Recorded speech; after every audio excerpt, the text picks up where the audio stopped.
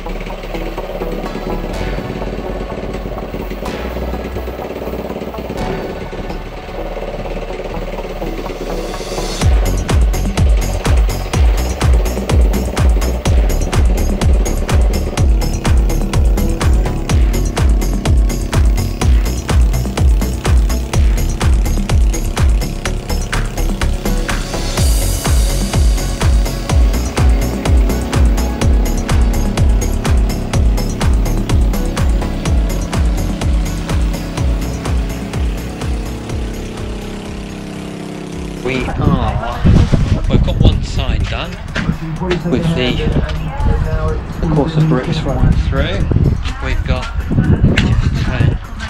Jeremy down for a minute. So we've got this curved border going through here. Just putting down some of this MOT type one. And you might see in the videos that oh get the hose pipe wet it down. Makes it easier to compact. It goes down a lot better. This is really dry considering. You know I would have thought it would have been wet but give that a good old wet down. And then for down in the channels I like using a tarmac dampener which is that there. Gets down in the channels a lot better. It gives these blocks a good bedding to fit on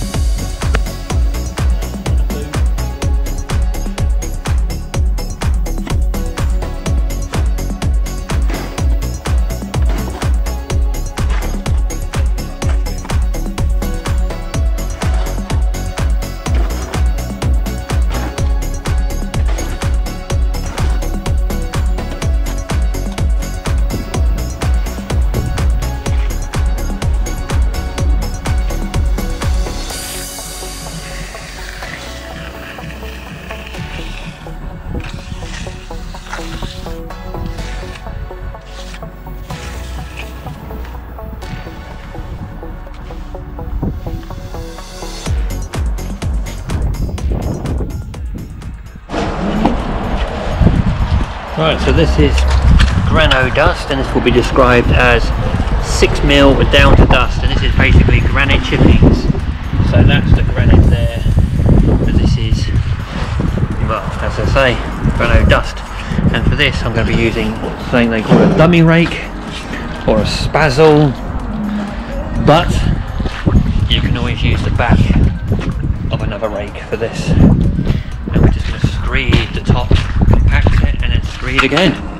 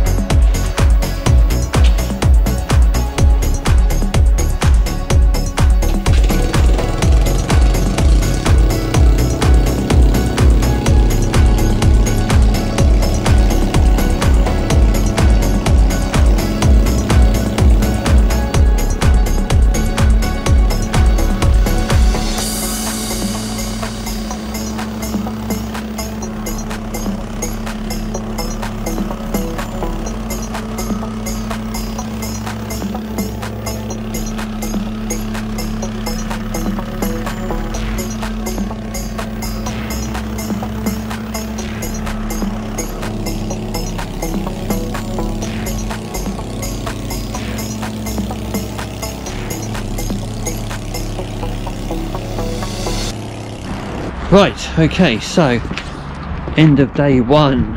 What a what a day as well. So we've got the the curve down this side which the, the customer wanted.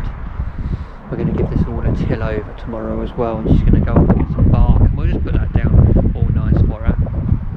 And got the granite dust on now. So what we've got next is weed fabric and then the artificial grass. There we are. Not a bad day. Not a bad day's graft.